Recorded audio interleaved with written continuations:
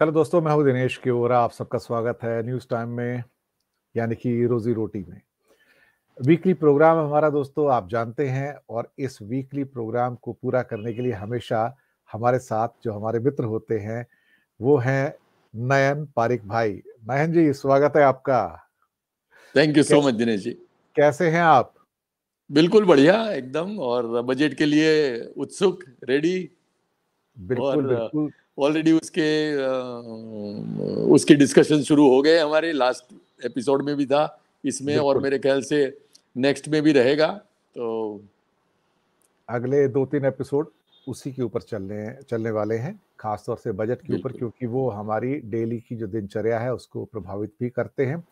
हमारी जो। रोजी रोटी है हमारी जो रसोई है हमारे जो रोज़ाना के खर्चे हैं पेट्रोल डीजल हों एडिबल ऑयल हो खाने पीने की चीज़ें हों या बाकी घर गृहस्थी की जो चीज़ें होती हैं ख़ास तौर से उसके साथ साथ जो हमारी इनकम भी है उसमें कुछ थोड़ी बहुत बचत हो जाए कहीं ना कहीं तो वित्त मंत्री हमारे ऊपर थोड़ा सा रहम कर दें। बल्कि रहम सब करें खास तौर से जो मध्यम वर्ग है या निम्न मध्यम वर्ग है या जो गरीब व्यक्ति है आ, उनके ऊपर थोड़ा सा अगर कुछ राहत मिल जाती है तो बहुत अच्छी बात है। नयन भाई इस बार बात करेंगे कि आ, शायद कुछ इनकम टैक्स में कुछ छूट ज़्यादा मिल जाए ताकि पॉकेट में कुछ पैसे बच सके। वैसे तो बहुत सारी रिपोर्ट्स ये बता रही हैं कि एक आम आदमी की इनकम चौरासी प्रतिशत की इनकम जो है पिछले दो सालों में कम हुई है। तो इनकम तो बढ़ी नहीं है, वेजेस बढ़े नहीं है, लेकिन चीज़ों के दाम, इन्फ्लेशन महँगाई बहुत बढ़ गई चीज़ों के अंदर। इसमें भी कोई शक वाली बात नहीं है। आ, साथ में कुछ बातें हो रही हैं कि अमीर बहुत ज़्यादा अमीर हो गए हैं तो उनके ऊपर कुछ वेल्थ टैक्स वापस लाने की बातें भी हो रही हैं। लेकिन मैं समझता हूँ कि कॉर्पोरेट्स को तो बहुत छूट मिल गई थी कुछ साल पहले कुछ सवा लाख करोड़ तक की टोटल मिला के लेकिन आम आदमी को क्या मिला था? बाबा जी का ठुल्लू जो कि कपिल शर्मा का शो में बताया जाता है। तो उम्मीद है कि इस बार कुछ हमें भी मिल जाएगा और गरीब को कुछ राहत मिलेगी मध्यम वर्ग को कुछ राहत मिलेगी। नयन भाई कैसे हैं आप? मैं बिल्कुल ठीक हूँ और आपने जैसे कहा, एक बैकग्राउंड आपने बहुत अच्छा समझा दिया कि ये क्या सिचुएशन में बजट हम लोग देखने जा रहे हैं। एंड उसी के संदर्भ में मैं समझ रहा हूँ कि बजट का एक मेन काम ये होता है कि पूरे देश की इनकम कैसे आएगी और कैसे उसमें से खर्च होंगे। तो किसी भी सरकार को बजट के द्वारा टैक्स के द्वारा रेवेन्यू इकट्ठा करना और उसको मीनिंगफुली स्पेंड करना उसका पूरा रोड मैप जो है, वो हमें बजट के द्वारा पता लगता है और उसी के लिए बजट की इतनी उत्सुकता, इसी के लिए हम बजट पे इतने तीन चार एपिसोड कर रहे हैं। तो ये जो बजट है उसमें यदि आप छूट दे तो मैं चाहूँगा कि हमारे हिसाब से या मेरे हिसाब से कैसा एक ड्रीम बजट हो, जिससे कि एक पंथ और दो काज हो। मतलब एक तो ये कि टैक्स रेवेन्यू भी हो और दूसरा ये कि जो इनक्वालिटी है, जिसमें कि हम लोग थोड़े से पीछे जा रहे हैं उसमें कैसे हम लोग अपने आप को आगे कर ले ताकि एक साइड इस शो को हमारे एक शो को इस समय एक पाकिस्तान क्योंकि लाइव जा रहा है तो हमारे एक पाकिस्तान के एक सज्जन है वो भी देख रहे हैं एक्सप्लोरिंग एनवाईसी और वो लिख रहे हैं wonderful show love from Pakistan तो आपकी thank you so much Pakistan तक भी हो रहे हैं ये लोगों की प्रतिक्रिया आ रही है तो एक्सप्लोरिंग एनवाईसी आपके कमेंट का बहुत बहुत शुक्रिया। तो क्या उम्मीद करेंगे बजट में क्या रिकमेंडेशन है नयन भाई? मैं तो हाँ उम्मीद के अलावा आपने जैसे कहा कि वो ड्रीम बजट क्या हो सकता है या ये ये बजट के द्वारा और हमारे पाकिस्तान के मित्र का स्वागत है और पाकिस्तान को तो हम खैर अपना कजिन मानते हैं हम लोग साथ में चले हैं साथ रहे हैं अभी थोड़े से हालत कुछ भी हो मेरे ख्याल से पाकिस्तान और इंडिया के बीच में जो एक संबंध है वो हमेशा ही रहेगा और एटलीस्ट एक आम पाकिस्तानी और एक आम हिंदुस्तानी के दिल में एक दूसरे के लिए जो जगह है वो है ही है। तो इसके ये, ये बारे में बताना चाहूँगा। पिछली बार आपने कहा था ना कि कुछ कुछ प्रतिक्रिया आएँगी लोगों की तो जरा बताइएगा उसके जवाब देंगे। तो पहली प्रतिक्रिया तो पाकिस्तान से ही आई है सर आपके लिए। कितनी बढ़िया बात है। और ये क्या ये जो आपने कहा उससे शो में और थोड़ी सी जान आ गई क्योंकि आ, मैं और आप एक दूसरे को देखते रहते हैं पर अब एक कल्पना में बैठ रहा है कि पाकिस्तान वाले कोई है भाई हमारे जो भी देख रहे हैं कोई बांग्लादेश वाले हैं तो उससे हम लोगों को एक अलग सी एनर्जी महसूस होती है जब हम ये बात करते हैं तो। तो इसलिए ये आई थिंक आपने जो शुरू किया है बताना वो प्लीज़ जारी रखिएगा कि कौन कौन लोग कहाँ से जुड़ रहे हैं और उससे हम लोगों को और भी एनर्जी मिल जाएगी। जी ज़रूर। तो और देखिए क्या, क्या क्या उम्मीद करें बजट में? आपकी रिकमेंडेशन क्या है वित्त मंत्री को? मेरा रिकमेंडेशन ये है कि जब ऑक्साम की इनकम इनक्वालिटी की बात हो रही है तो हमारे टैक्स के द्वारा हम लोगों को एक पंथ और दो काज जैसा करना चाहिए कि हम टैक्स भी इकट्ठा करें, पर वो टैक्स के द्वारा इनकम इनक्वालिटी भी कम करें। तो आई थिंक वो जो हो जाएगा तो बहुत बढ़िया हो जाएगा, क्योंकि सिर्फ़ फिर आप इन इक्वालिटी को भी ध्यान में रखते हैं जब आप टैक्स रेवेन्यू कलेक्ट करते हैं। वरना सिर्फ़ टैक्स रेवेन्यू कलेक्ट करने का मकसद हो तो उसका कोई मतलब नहीं रहता है। तो मैं उसको मद्देनजर रखते हुए ये कहता हूँ कि हम लोग जब टैक्स लेते हैं। अभी पाँच लाख रुपया वर्चुअली हमारी लिमिट है, जिसके बिलो हम लोग टैक्स नहीं लेते हैं। मैं समझ रहा हूँ कि इन्फ्लेशन को देखते हुए और हमारा जो एटीसी बाकी का work from home standard deduction ये वो सब मिला के मैं कह रहा हूँ सिंप्लीफाई करने के लिए up to rupees ten lakhs annual income income tax should be zero तो जो हमारे जो मार्जिनल इनकम टैक्स पेयर है जो कि हमारे बॉटम वाले पिरामिड है उनको इससे बड़ी राहत होगी और उनको फ़ायदा होगा। और मैं समझ रहा हूँ कि इसके द्वारा जो हमारी रेवेन्यू कम होगी वो हम लोग एक करोड़ के ऊपर की इनकम पे टैक्स को फिफ्टी परसेंट कर दे। और ये कई देशों में है कई एडवांस देशों में भी है। अभी हमारी करंटली हम लोग जो पाँच करोड़ के ऊपर forty two percent effective tax rate करते हैं उसकी जगह मैं समझ रहा हूँ कि हम लोग एक करोड़ रुपए के ऊपर की आय में फिफ्टी परसेंट इनकम टैक्स ले। और उससे मेरे ख्याल से एक नेट सरप्लस जनरेट होगा जो आप दस लाख की इनकम टैक्स फ्री बना रहे हैं उससे जो रेवेन्यू लॉस होगा उससे कहीं ज़्यादा भरपाई हो जाएगा जब हम एक करोड़ के ऊपर फिफ्टी परसेंट टैक्स की बात करते हैं। And also it would work towards inequality जो हमारे रिच पीपल है जो एक करोड़ वाले हैं उनको एक लाख दो लाख रुपए से इतना फ़र्क नहीं पड़ेगा जितना कि एक पाँच दस लाख रुपया जो कमाता है उसको अपने अमाउंट बचने से पड़ेगा। बिल्कुल आपने सही कहा। ये इन, ये इनकम टैक्स के अलावा दिनेश भाई मेरा ये कहना है कि हम लोगों को वेल्थ टैक्स जो हमने 2016 में हटा दिया था उसको दोबारा लाने का सोचना चाहिए। इंडिया में हमारे पास फॉर्चुनेटली रिच लोगों की संख्या बहुत बढ़ रही है। पिछले साल we have 42 percent jump in that so हमारे बिलियनर्स थे अब उसका 142 नंबर पे इजाफा हो गया है। जी। ये लोग जो भी स्टार्टअप हो यूनिकॉर्न हो बड़ी कंपनीज़ हो वो जब कमाते हैं तो ये समझिए कि उसमें सब इंडियंस का योगदान है। यदि कोई रिलायंस आगे बढ़ता है तो उसमें जियो खरीदने वाले हर एक रोजी रोटी हमारा देखने वाला एक आदमी जो लेबरर है एक आदमी जो चाय बेच रहा है थैला चरा रहा है उसका एक कंट्रीब्यूशन है। उसने रिलायंस को बनाया है जो रिलायंस है आज या उसने जो हमारे 142 बिलियनर्स बने हैं उसमें उसका योगदान है। तो मैं समझ रहा हूँ कि उन लोगों तक ये वेल्थ कैसे हम लोग ट्रांसफ़र करें, कोई इनइक्वालिटी कैसे कम करे तो यदि हम वेल्थ टैक्स इंट्रोड्यूस करते हैं और इवन वन और टू परसेंट वेल्थ टैक्स हम लोग इंट्रोड्यूस करते हैं तो मैं समझ रहा हूँ कि जिसके पास साढ़े सात हज़ार करोड़ रुपया है, उसको पचास सौ करोड़ रुपए से फ़र्क नहीं पड़ता है। और जो जो यूनिकॉर्न बने हैं, उन्होंने ओवरनाइट आईपीओ के द्वारा या उनकी इक्विटी प्लेसमेंट के द्वारा अपने आप को बहुत धनी पाया है। और उसमें से मेरे ख्याल से राज्य का देश का और हमारे रोजी रोटी देखने वाले जो एक आम आदमी है उसका हक है। और ये पैसे मैं समझ रहा हूँ कि जो भी वेल्थ टैक्स से हम इकट्ठा करें मेरे हिसाब से मोटा मोटी कहीं तीस चालीस हज़ार करोड़ रुपए इससे मिनिमम आने चाहिए। हायर साइड पे वो sixty seventy thousand crore rupees हो सकते हैं। ये पैसे हम लोगों को रिंग फेंस करने चाहिए ताकि ये पैसे कहीं सड़क बनाने में कहीं कोई एयरपोर्ट बनाने में, कहीं कोई बुलेट ट्रेन करने में ना खर्चा हो जाए।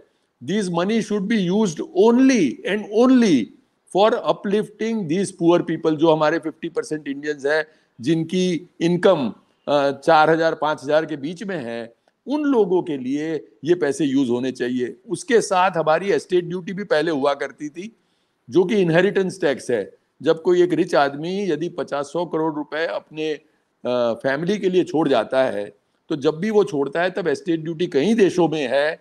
हमारे यहाँ भी थी, फिर नाबूद हो गई, उसके कारण भी थोड़ी सी इनक्वालिटी बढ़ गई। तो मैं समझ रहा हूँ कि जो एस्टेट ड्यूटी फिर इंट्रोड्यूस कर देंगे तो उसके द्वारा भी जो पे करता है, उसको ज़्यादा हर्ट नहीं होगा। जिस आदमी के पास सौ करोड़, दो सौ करोड़ रुपए अपने इनहेरिटेंस मिलता है, उसको कहीं अपना दो पाँच करोड़ देने में इतना हर्ट नहीं करेगा। जितना कि वो फ़ायदा करेगा जो हमारे बॉटम ऑफ़ द पिरामिड है उनके लिए।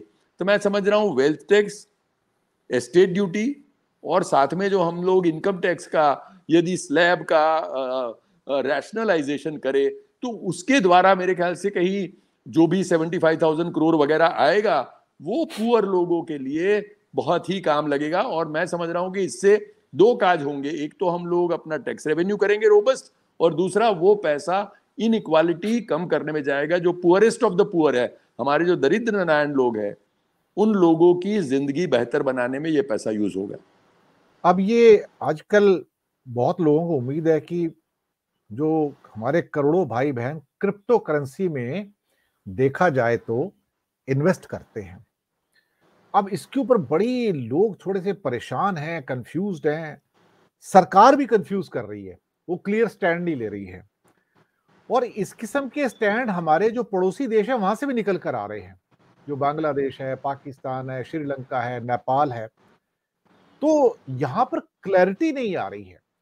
तो यहाँ पर आप फाइनेंस मिनिस्टर से क्या उम्मीद करेंगे पहली फरवरी को जब वो बजट लेके आए कि भी लोगों को एश्योर करें कि क्रिप्टो करेंसी पे क्या निर्णय लेना है क्या डिसीज़न लेना है क्या उनको? इसके बारे में क्या तो आपने बिल्कुल आपने बहुत सही ये प्रश्न छेड़ा है दिनेश भाई और ये हमारे सबके जहन में है। देखिए क्रिप्टो करेंसी आज स्टॉक मार्केट से भी ज़्यादा इंपॉर्टेंट हो गई है। उसका पेनिट्रेशन और बढ़ गया है।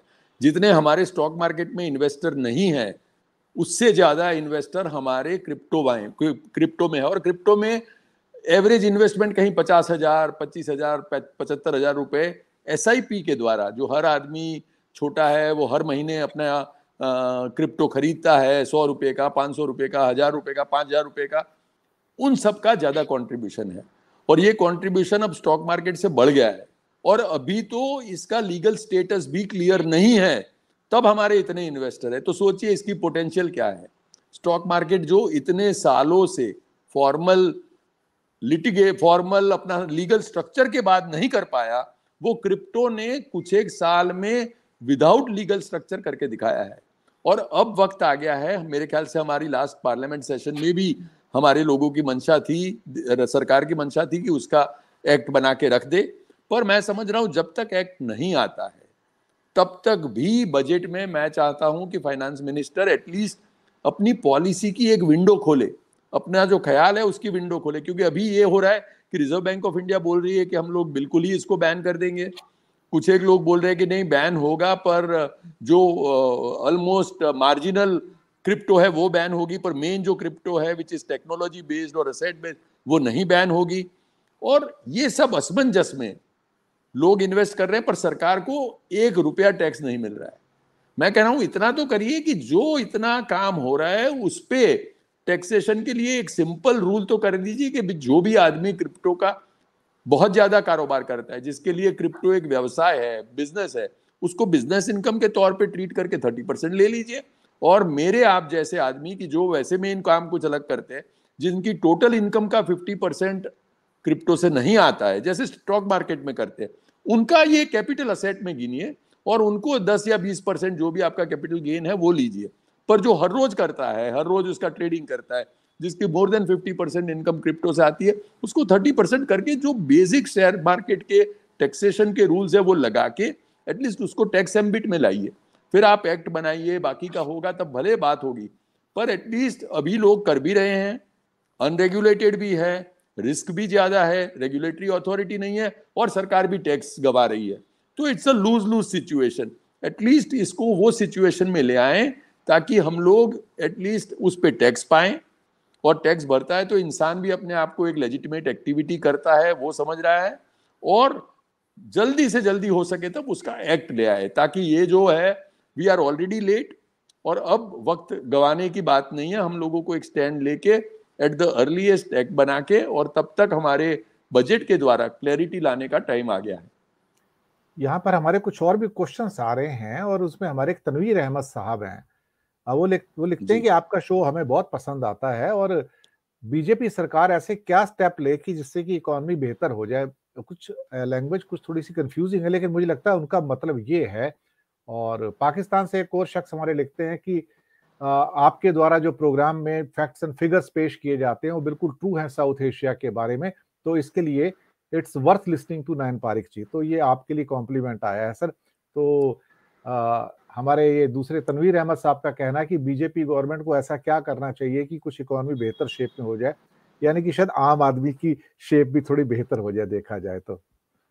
नहीं, अहमद साहब और दूसरे हमारे पाकिस्तानी भाई हैं, उनका शुक्रिया कि आप देखते हैं, आप सराहते हैं, आप हमको एनर्जी देते हैं, ताकि दिनेश भाई और मैं जो अपना बेस्ट है, वो निचोड़ के इस प्रोग्राम में रोजी रोटी के द्वारा आप तक पहुंचाते रहें। Thank you so much for your kind words और जहाँ तक ये सरकार का लोगों के प्रति दायित्व है, मैं समझ रहा हूँ कोई भी सरकार किसी भी पक्ष की हो, जब वो सत्ता में होती है, तब उनका यही कर्तव्य होता है जो इस सरकार का भी है कि जो भी बिछड़ा हुआ आदमी है, जो सबसे वीकेस्ट ऑफ़ द लिंक है, उसको कैसे हम मज़बूत करें, उसको कैसे हम अपना जो भी कार्यक्रम है वो पहुँचाए।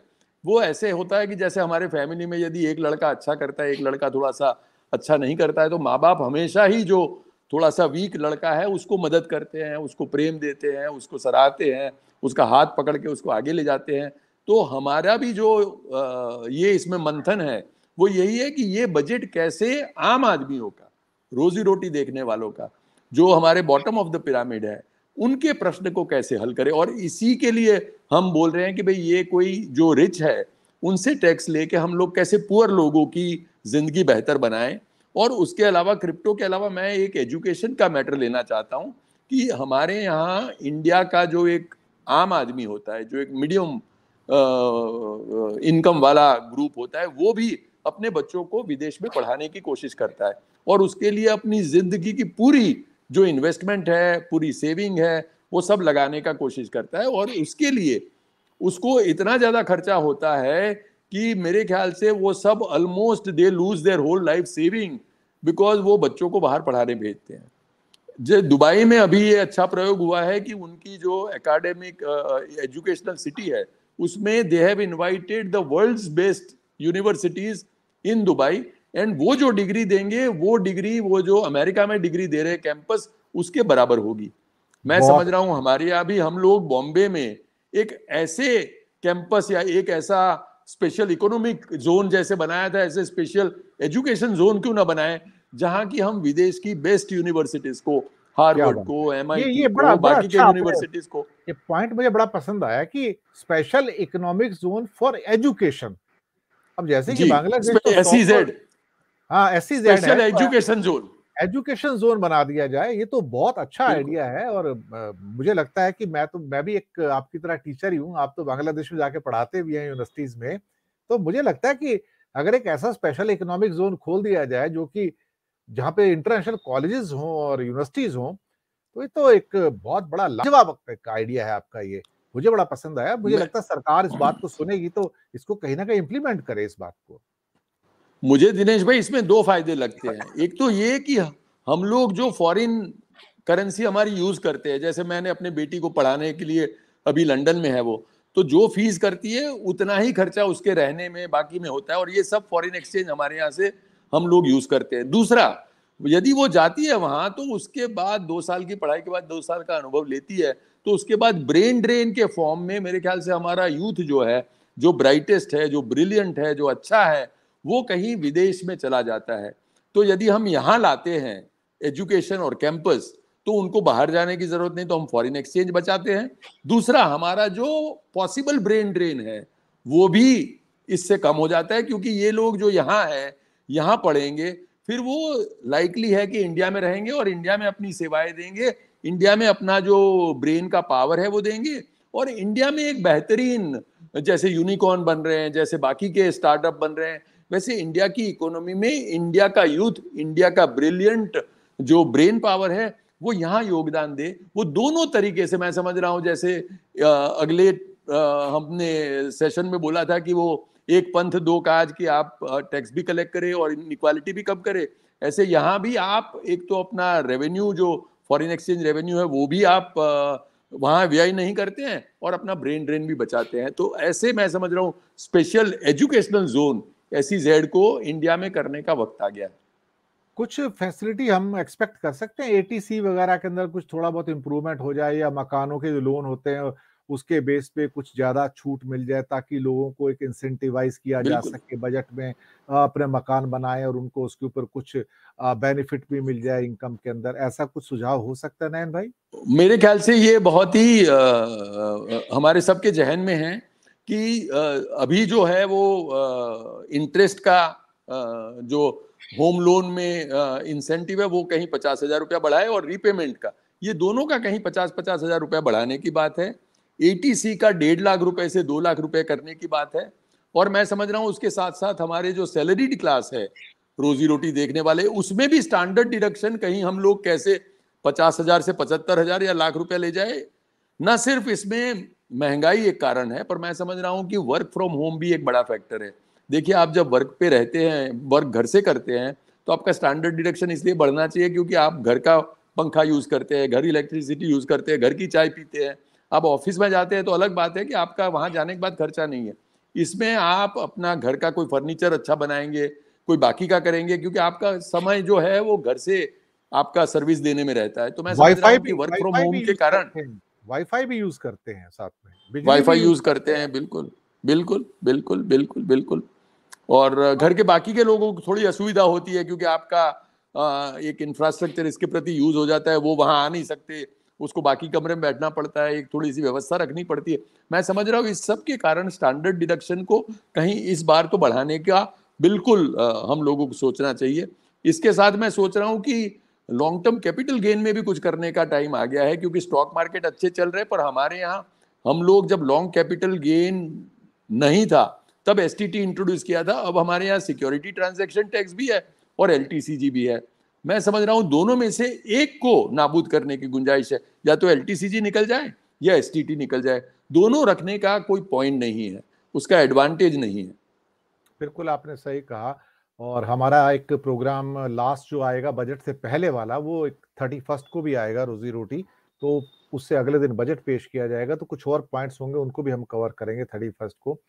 ये हमारे पाकिस्तान की एक भाई हैं ये पूछ रहे हैं कि why Modi ji is too reluctant to even engage Imran for the business benefit for India to Central Asia.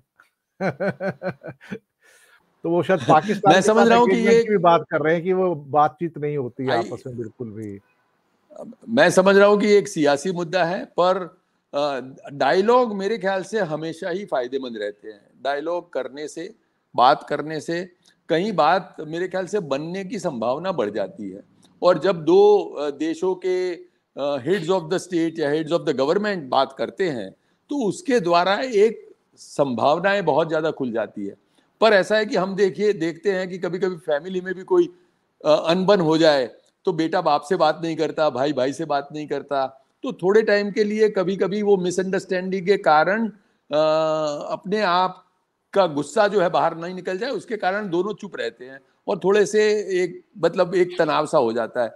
मैं समझ रहा हूँ कि इसका एक्चुअल उपाय यही है कि दोनों पक्ष अपने द्वारा बातचीत करें, बैठे और ये भी जो थोड़ा सा कहीं कोई मन मुटाव है, कोई कहीं मिसअंडरस्टैंडिंग है, कोई कहीं गलत फहमी है तो उसको बाहर रखे, उसको सुलटाए और इसके बाद दोनों बैठ के बात करें मेरे ख्याल से हम तो ऑलमोस्ट कजिन्स की तरह हैं इंडिया और पाकिस्तान तो साथ साथ रहे हैं। और ये आ, मेरे ख्याल से संभावना है कभी भी ये हो सकता है। और हम तो रोजी रोटी के कार्यक्रम में देखते हैं कि दिनेश भाई जो भी मुद्दा लेते हैं वो कहीं जाके एक दो वीक में चार वीक में असर लाता है। ये भी आपने मुद्दा छेड़ा है तो मैं समझ रहा हूँ कि इसके द्वारा इसको भी कहीं वाचा मिली है और आगे इसके रिज़ल्ट आ जाए तो मुझे बिल्कुल ही इससे सरप्राइज़ नहीं होगा। एक लास्ट बिल्कुल टेल पीस है। बजट से करीब करीब छह महीना पहले एक थोड़ा सा इंसिडेंट इस किस्म का है बांग्लादेश से कि जहाँ पर उन्होंने अपने सोशल सेक्टर की स्पेंडिंग को पहले से डिक्लेयर कर दिया है। ये मैंने नॉर्मली देखा नहीं है कि जब बजट आता है जो एक दो महीने पहले जब स्टार्ट होता है उनका बजट जो है पहली जुलाई से आता है एक्चुअली जो इफ़ेक्टिव होता है। पहली जुलाई से थर्टी जून का फाइनेंशियल ईयर है बांग्लादेश का। तो उनका बजट जो है फिर जून महीने में आता है। पाकिस्तान का भी जून महीने में आता है। और नेपाल का बजट थोड़ा डेट के हिसाब से चलता है तिथि के हिसाब से चलता है वो करीब पंद्रह जुलाई से स्टार्ट होता है वो। तो कभी पंद्रह कभी सोलह कभी सत्रह जो हिंदू तिथि होती है उसके हिसाब से आता है। तो उन्होंने इस बार अपना जो सोशल स्पेंडिंग जो है उनका जो सोशल सेक्टर का स्पेंडिंग है उसको पहले से डिक्लेयर किया करीब करीब पैंतीस हज़ार करोड़ टका पे जो कि उनके रेवेन्यू को ऑलमोस्ट टेन परसेंट हो जाता है। तो ये मेरे लिए भी एक सरप्राइज़ था कि उन्होंने इतना पहले उसको उन्होंने अनाउंस कर दिया है, देखा जाए तो। और वो भी उसमें सेक्टर्स भी बताए अंदर के कि कहाँ कहाँ ये खर्चा करेंगे पॉवर्टी रिमूवल कहाँ से होगा वीमेन के लिए कहाँ से होगा, बच्चों के लिए कहाँ से है, और बहुत सारा। मुझे अच्छा लगा कि इसके ऊपर उन्होंने अभी से एक बहस छेड़ दी है कि ये मनी कहाँ स्पेंड किया जाएगा ताकि लोग अपनी सलाह भी दे सके एडवाइस कर सके उनको। तो ये एक थोड़ा एक नॉवल एक्सपीरियंस हो गया मेरे लिए कि छह महीना पहले ही सोशल सेक्टर का स्पेंडिंग पहले से डिक्लेयर किया जा रहा है और उस पर शायद एडवाइस भी मांगी जा रही है लोगों की। This is something very different actually नहीं इनफैक्ट दिनेश भाई ये इसकी अच्छी बात इसलिए है क्योंकि बजट का काम तो है एलोकेशन करना। पर हम देखते हैं at the end of the year कि बजट के एलोकेशन के बावजूद डिपार्टमेंट उतना स्पेंड नहीं कर पाते हैं क्योंकि execution capability is another bottle अब उसमें यदि आप किसी को छह महीने आगे से बता देते हैं कि भाई ये आपको इतना बजट का एलोकेशन मिलने वाला है तो आपका इम्प्लीमेंटेशन जो है, वो थोड़ा सा और डेफिनेटिव हो जाएगा। क्योंकि आप यदि एडवांस में बता रखते हैं तो वो एडवांस में तैयारी कर रखते हैं और उनका फिर एक्चुअल जो आप करना चाहते हैं, वो जो बजट एलोकेशन के द्वारा जो अचीव करना चाहते हैं, वो अचीव करने की संभावनाएँ बहुत बढ़ जाती है। तो ये मेरे ख्याल से अच्छा कदम है। और उसके अलावा भी मैं समझ रहा हूँ कि हमारा जो बजट एलोकेशन लास्ट ईयर का था वो हर डिपार्टमेंट को पता है कि उसके आसपास का कहीं ना कहीं मिलना ही है अनलेस की हेल्थ का कोई बात आ गई या बाकी की बात आ गई। तो गवर्नमेंट डिपार्टमेंट को अपने आप को पुख्ता करने की ज़रूरत है कि भाई ये इतने पैसे कैसे स्पेंड करेंगे? देखिए एलोकेशन हो जाते हैं। अभी भारत सरकार के रिज़र्व बैंक ऑफ़ इंडिया में कैश बैलेंस है करीब 4.7 लाख करोड़ तो पैसे की इतनी कमी नहीं है जितनी हमारी एग्जीक्यूशन करने की तैयारी की कभी कभी कमी आ जाती है। तो इसीलिए ये जो एडवांस वाला है वो मेरे ख्याल से हेल्प करेगा। और हम भी इंडिया में मैं समझ रहा हूँ कि हमारी एग्जीक्यूशन केपेबिलिटी है। हर डिपार्टमेंट की जो एक अपने आप की ऑपरेशनल कंस्टेंट रिमूव करने की केपेबिलिटी है वो भी आगे बढ़ेगी ताकि हम लोग एक्चुअली डेवलपमेंटल काम फास्ट कर पाए। बिल्कुल आपने सही कहा। तो आ, ये पहले तो हमारा जैसे कि सारे पड़ोसी देश एक ही मुल्क हुआ करता था तो है तो सब भाई बहन ही देखा जाए तो बांग्लादेश, पाकिस्तान, इंडिया एक ही खित्ते का हिस्सा था देखा जाए तो। बाद में बट गए अलग है, लेकिन अल्टीमेटली भाई तो भाई रहते हैं ना बहनें बहनें ही रहती हैं, वो भाई भाई से थोड़ी तो अलग थोड़ी हो जाते हैं। तो इन्हीं शब्दों के साथ दोस्तों मैं आपसे लेता हूँ विदा और अगले हफ़्ते खासतौर से अगले सोमवार को हम आपसे फिर मिलेंगे बजट से पहले के लास्ट शो में। तो अगर आपके कुछ सवाल होंगे तो आप हमें ज़रूर लिखिएगा खास तौर से हमारे सामने कमेंट कॉलम के अंदर डालते तो हम उसको पढ़ना भी शुरू कर देते हैं। आपके जो विचार हैं उसको नयन पारिक भाई के पास भी लेके जाते हैं। और आज तो हमने जो दो तीन जो अच्छे अच्छे क्वेश्चन आए उनको पिकअप भी किया है उस बात को पहुँचाया भी है। इसलिए आज हमने बात पाकिस्तान की भी की है बांग्लादेश की भी की है। और आप लोग देख रहे हैं इतनी दूर से प्रोग्राम आपका बहुत बहुत शुक्रिया भी बनता है। तो आ, हमारे साथ बने रहिएगा। हम आपके लिए अच्छे अच्छे प्रोग्राम्स लेके आते रहेंगे मीनिंगफुल प्रोग्राम्स लेके आते रहेंगे। तो इन्हीं शब्दों के साथ लेंगे विदा और नयन भाई का करेंगे शुक्रिया अदा कि उन्होंने कीमती समय निकाला हमारे साथ जुड़े। नयन भाई बहुत बहुत धन्यवाद आपका और दर्शक मित्रों थैंक यू सो मच अभी बहुत